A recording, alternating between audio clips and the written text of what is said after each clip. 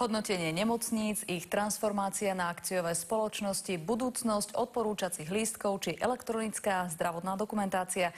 To je len malá časť toho, čo kabinety Vety Radičovej chystá v nasledujúcich štyroch rokoch v zdravotníctve. Do programu sa nedostala dostavba najväčšej nemocnice Rásochy, ktorú si striedajúce sa vlády posúvajú ako horúci zemiak. Zmeny nás čakajú aj v lekárniach.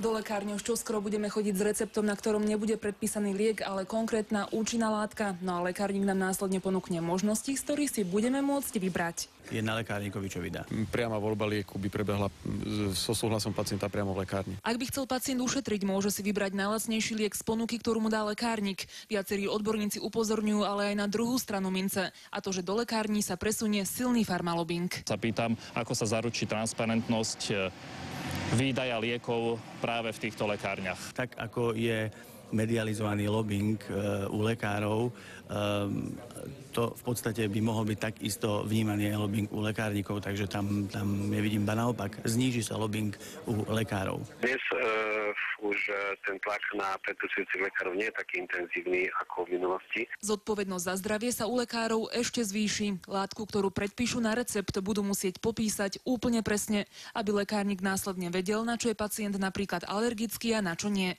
Zlý liek by mohol spôsobiť zdravotné problémy a pacient ako laik to pri výbere lieku posúdiť nevie. Najmä u starších e, pacientov, ktorí e, užívajú množstvo liekov, tak aj teraz je to riziko. Môže tam v niektorom lieku byť zložka, ktorá uh, môže spôsobiť alergiu tomu pacientovi. Lekárnik o tejto prípadnej alergii nemôže ani vedieť.